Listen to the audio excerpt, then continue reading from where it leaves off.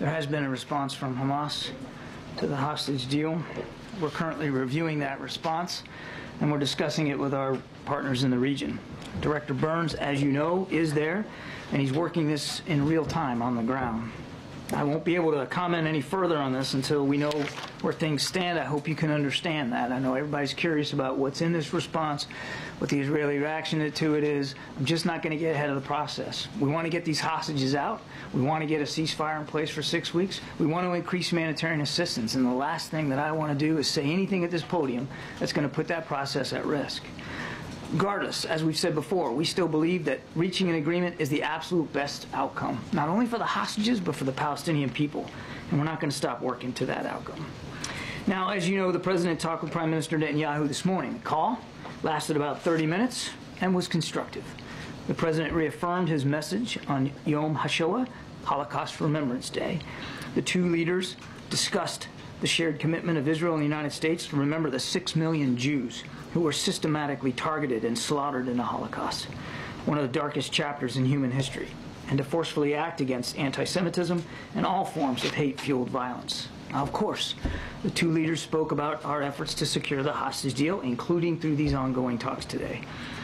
During the call, at the president's urging, Prime Minister Netanyahu agreed to ensure that the Kerem Shalom crossing is back open for humanitarian assistance for those in need. And I also want to take a moment to address the latest reports now out of Rafah, which was also a topic of discussion on the, on the call. I'll reiterate again that we cannot and we will not speak for IDF operations. But we've made clear our views about operations in Rafah that could potentially put more than a million innocent people at greater risk. During his call with Prime Minister Netanyahu, the president again made this clear. He also made clear that we continue to believe that the hostage deal is the best way to avoid that sort of an outcome while securing the release of those hostages. And as I said, those conversations continue. Uh, just one more thing. President Biden uh, hosted his Majesty King Abdullah II of Jordan for lunch at the White House that probably wrapped up here just recently. They discussed the strong partnership between the United States and Jordan. They also spoke about the situation in Gaza, of course, including efforts to secure the hostage deal and to get more humanitarian assistance into the civilians of Gaza. Now, we're going to have a more uh, detailed readout of that conversation uh, here very, very soon. Just don't have it right now, but you'll be seeing it uh, shortly. As far as you can tell, which proposal did Hamas accept? I'm not going to get into that, Steve. And is the issue over how long a ceasefire would last? Again, you're asking me for the parameters around the response and the deal itself, and I'm just not going to do that. Lastly, Israel has called on people in, in Rafah to evacuate. Is, does that presage a full-scale assault? What, what are we seeing? As I said in my opening statement, I'm not going to speak for IDF operations or their military intentions and plans. They should be the ones to answer those kinds of questions. What I can only reiterate is that we've been consistent, and the president was consistent again this morning, that we don't support ground operations in Rafah that would put the majority or even any of the, the, the, civilians there at any greater risk. We want to see their safety and security allowed for and factored in. Um, noting your caveats at the top, are you able to say whether Hamas was agreeing to something that had been discussed over the last several days?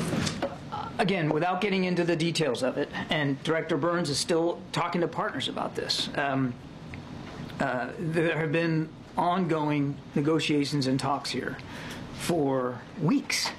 Uh, and the director traveled recently to see if we can't bring this thing home.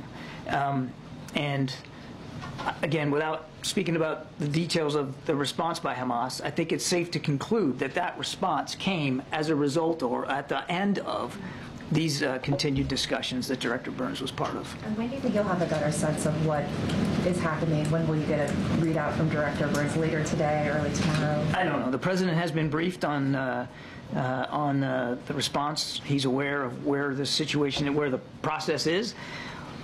What you're asking me is like, when are we going to get like a final, you know, what is the answer? Yeah, yeah uh, final uh, table slap here. Um, there is a there there's a process that has that that has been worked in the past and will be worked this time. You get a response by Hamas, we're going to have to evaluate that, we're going to see what's in it.